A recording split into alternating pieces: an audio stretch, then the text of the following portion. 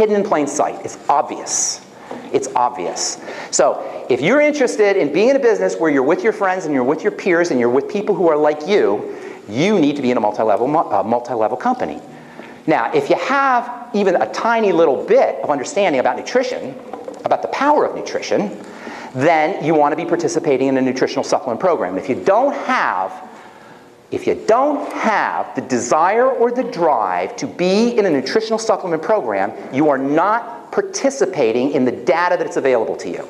Do you understand this? There is so much literature to support the use of nutritional supplements to reverse reverse degenerative disease to create the terrain where de de degenerative breakdown disease does not occur that if you are not aware of it you are either under a rock and completely oblivious or you just don't care but if you do care and you are participating, you're going to be in a nutritional supplement program. So you got a multi-level model that allows you to be with your peers and with your colleagues and with your friends and with your loved ones and make friends and hang out with people like you, and you know you're going to nutritionally supplement, you're crazy not to participate in this business.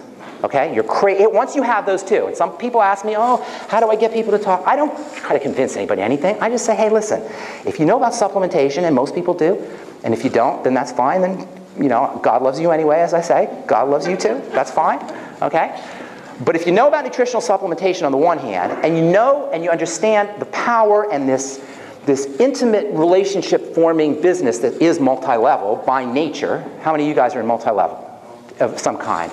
Multi level is where the guy on top of you benefits when you benefit, and the guy below you benefits when you benefit. So everybody's networked, they're all connecting each other up. That's what, that's what the model is basically. So it's called, a, it's called a network. They used to call it a pyramid. It's not a pyramid, although it is shaped that way, but pyramid doesn't have a product. Multi-level is when the guy above you benefits from you. That's cool. That's cool right there. Does your boss benefit from you? Does your boss benefit from you? You better believe he benefits from you. But are you getting, are you getting benefit from him? Is the question. When you do well for your business, when you do great for your car company or your computer company or wherever, does that show up for you? No, multi-level, you get cash for that. Same with below you. It's, there's a connection to ev everybody's connected in this kind of networking way. And so it's a beautiful, beautiful model, and it's a fair model. And that's why in Youngevity, why I like Youngevity, is there's people who are average, regular people. Regular people. And regular people making 10 or 15 grand a month. Regular people. Nothing special, they're just nice, good people.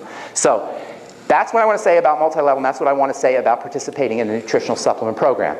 But before, the reason I really want to talk, what I really want to talk about, I want to be clear though about the multi-level deal. Multi-level is awesome. Keep your ears open and keep your, uh, uh keep your mind open. What we need to understand if we're going to take care of the body is the body doesn't break down in different ways. This is the most important thing that you can understand about how your body is how your body degenerates really. And that's what we're talking about here is degenerative disease. Degenerative disease is diseases of breakdown. Okay? Diseases where the body decays, where it breaks down, where it degenerates. But the body's a regenerating system, so right away we know we have a problem. The body does not degenerate Specifically, it degenerates generically. It, gener- it, degenerates and break down, breaks down the same way whether you have MS or whether you have acne or whether you have psoriasis or whether you have hyperpigmentation or whether you have anything. It breaks down the same way. And while we think our flavor of disease, we, people get attached to their diseases, I've noticed. Some people are very attached to their age. I have this, and I, I have amyotrophic lateral sclerosis, and I have superintiva, hyper, superintiva dental hyperhidrosis, or whatever that is. You know, I love the names they give people. I love the names. By the way, your diagnosis is not a disease, it's a label, it's a description. It means nothing except for a guy can go into a book and look it up and see how to treat you with it. That's all it means. The body breaks down generically, but yet if you go to the World Health Organization statistics, they'll tell you there's 12,000 different diseases. There is not 12,000 different diseases. There's basically one. You're breaking down. That's the disease. And it doesn't matter if it's in your thyroid, and it doesn't matter if it's in your heart, and it doesn't matter if it's in your head or your nerves or your bowels. Or, it matters that it's breaking down. And this is this idea that we have to go over here and over here and over here, and you're like a little boy with his finger in the dike, and you're putting a hole here and here and here and here, and you're trying to plug up all these holes. It's just a way of obfuscating, of disempowering us. Disempowering us, of taking the power away from us and putting it into an authority that's external from you. You do not need an authority that's external for you once you understand how the body breaks down. Okay, now how does the body break down? Well, if we're going to understand how the body breaks down, we have to understand the body, right? Make sense? Well, just like, just like the body, uh, the disease state is not complicated, in a way the body's not complicated. There's only really two parts to your body. How do you like that? Only two parts to your body. Anybody ever hear me talk about raisin bread? Okay? What's raisin bread? Your body's like raisin bread. That's all it is, raisin bread. What are the two parts of your body? Or the two parts of raisin bread? What is it? Raisin and bread. Okay? Yes, raisin and bread, obviously, raisin bread. Well, your body is raisin bread. Of course, in the world of science, we, we have fancy ways of saying it. We call it parenchyma and mesenchyma. Anybody hear those terms? parenchyma and mesenchyma. Okay? That's what it is. It's just, but I call raisins and bread. You may know it better as cells and extracellular matrix. That's all the body is. It's cells that are embedded in a, in a matrix a, a, matter of some kind. Matrix and matter come from the same term. So you have cells, like raisin bread. You have cells, and then you have stuff in between them. That's it. Why is this important? Because this is where the disease process begins, which should be obvious because this is what the body is. To understand the disease process, to understand the breakdown process, you have to understand the bread and you have to understand the raisins. And that's all you have to understand. Okay, so we're good. It doesn't matter if it's a thyroid cell or, or a toenail cell. It doesn't matter if it's a toenail cell or it's a heart cell. It's a cell and it's in a matrix. That's it, people. It's a cell and it's in a matrix. That's all you need to know. So now what do I mean by this, okay? Well, let's talk about a cell first. Okay, you know, you, I, I, I like listening to conspiracy theorists and I like the drama of the day and government this and doctor that and you know, I get involved with it. It's kind of titillating, I admit.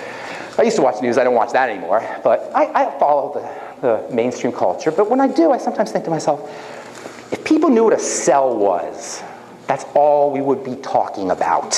We would never talk about anything but cells because when we understand the amazingness that makes us up, people, listen to me. You're a hundred trillion cells. You are made up of a hundred trillion cells, and if I take a little piece out, I will, and I put it under a microscope, it would be like an animal. It would walk to food. It would run away from poisons. It would reproduce. It would has a little skeletal system. And she has 100 trillion of them. We have 100 trillion. They make us up. Come on. You got to say that's cool. Come, it's not just me, right? That's amazing. That's amazing. But you know what? It gets even more amazing. It gets even more amazing. Because then we got to see what a cell is. What is a cell? All right, now, 100 trillion, okay. I admit it. 100 trillion, that's kind of like you know, uh, 200 trillion, 100 trillion. What's, what's 100 trillion between friends? You know, that's like a number that we can't even grasp. So it's just so big. First of all, how long do you think it would take you to count your cells one by one, if you counted one by each second? Any guesses? 2,000 years? Guess again. Any guesses? How long would it take you to count a cell? Uh, how many years? 100 trillion seconds. 100 trillion seconds. That's good. That's good. How many years? It would take. Okay. All right. I get it, smart aleck here. i do the jokes. Idea. It was her idea. All right. All right. It would take you 32 million years. That's how big 100 trillion is. It's 32 million years. That's the kind of numbers we're talking about. But, dude, it gets way more intense. Relax. Check this out. Each one of these little cells is composed of as many working parts, working parts, gears, hinges in this little cell that is 100 trillion of them, that is about a, a 1 200th of a head of a pin. Anywhere from 1 200th to 1 100th, you could fit 100 cells end to end on a head of a pin. 100 to 200. That's the kind of scale we're talking about. Yet within that little tiny gel structure, you have as many working parts as you do in a Boeing 767. Six million working parts in this little. Now, come on. you got to see that's cool, right? And right? And then on the outside, you have a information processing chip called a membrane on the outside of each one of these things. And on the inside, you have a circle that is packed with 18 feet of DNA in a little space that's 1 200th or to 1 100th the size of a head of a pin. Please, come on. You cannot be that cold. You got to be going, you got to be blown away. Come on. Where's your heart, people? Come on. Come on, are you that jaded? It's amazing. That's what we are, and that's what we should be focusing on. I say I like to, I get titillated by the conspiracy stuff and all the fear stuff and all that, but you know what? That's what counts. And when I say a doctor can't help you, I mean he can't help you at that level because that cell is not stupid. And it isn't going to take what the doctor's giving uh, or any the medical model's giving. It has to be poisoned and it has to be hacked. Ripped out as in hacked, cut open is what I'm talking about. So, anyway, within that cell you have 18 feet of DNA. That 18 feet of DNA in that little tiny space, if it were stretched out in all the cells of your body, would make up 340 billion miles. Hello? Did you hear that? 340 billion miles of DNA in your body. Now, come on. Now, come on. Now, come on. Now, come on. All right? You've got a little computer chip multiplied by 100 trillion times with 6 million working parts that's capable of producing 50,000 different proteins in some cases.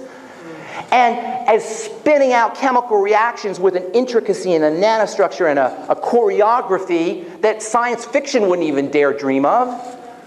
And you have that in your body. And guess what, people? That system is very delicate, very fragile. This is six million working parts spewing out thousands upon thousands of molecules per second. Per second. It's fragile, it's delicate. But that's not a problem because nature's perfect. The divine force is perfect. It has taken care of it for us. You need do nothing. How cool is that? You need do nothing. And if you don't believe me, if you think I'm just talking, go cut yourself and watch it heal. And that's exactly what you will be seeing cell division and growth and reproduction and repair and regeneration. That is your birthright. That is our birthright. That's all our birthright. That regenerative process is our birthright, which is why nobody needs to suffer. It's built into the level of the cell. So you have this amazing piece of raisin and all, or piece of, uh, amazing piece of cell, uh, amazing cell, amazing piece of raisin bread. It's a raisin, it's a cell. It's a small little structure, and it's like an animal. In fact, the guy who discovered cells was named Robert Hooke.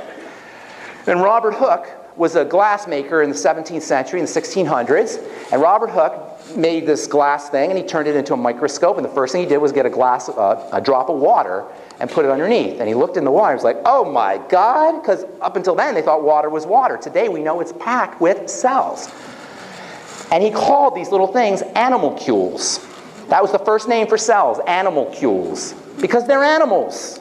They do what animals do. And what does an animal do? An or what does an animal need? An animal needs to be fed. An animal needs to breathe. An uh, animal needs to detoxify. An animal needs to be fed, it needs to be nutriated, and it needs to detoxify. And that's it. And that's all your cell needs. It needs to be fed, and it needs to uh, be de- uh, detoxified, and it needs to respirate. It needs, it needs to be oxygenated. And all disease is the end result of cell starvation, toxification, and suffocation. Starvation, toxification, and suffocation. That's it, but it's at the level of the cell, not the thyroid. It's at the level of the cell, not the nerve. It's at the level of the cell, not the heart. Do you understand what I'm saying here? When we focus on the heart, and we focus on the bone, and we focus on the muscle, and we focus on the thyroid, and we focus on the brain, you're like the little boy with a finger in his dike, uh, with the, putting his finger in the dike. Brain, head, oh no, now it's my legs, now it's my arms, everything else. You go nuts, and that's the plan. And that's the idea because then you can't do anything. You don't know where to go. Of course, you let them take your gallbladder out. That gets my gallbladder pain away. The problem is at the level of a cell. All disease, all of it, cancer, heart disease, all of it, cell starvation, cell toxification, and cell suffocation. And we're in charge of that. Now, the bread, you say, now your next question should be why does the cell break down? Shouldn't that be the logical question? What's going on? Okay, great. Cell. Does that make sense, first of all? Did you guys get that? That was a very, very, very important point. All disease is cell disease.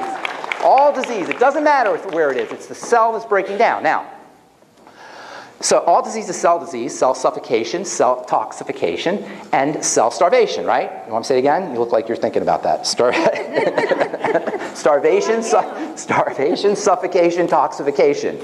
Starvation, suffocation, Toxification. Mr. McGraw, is that good?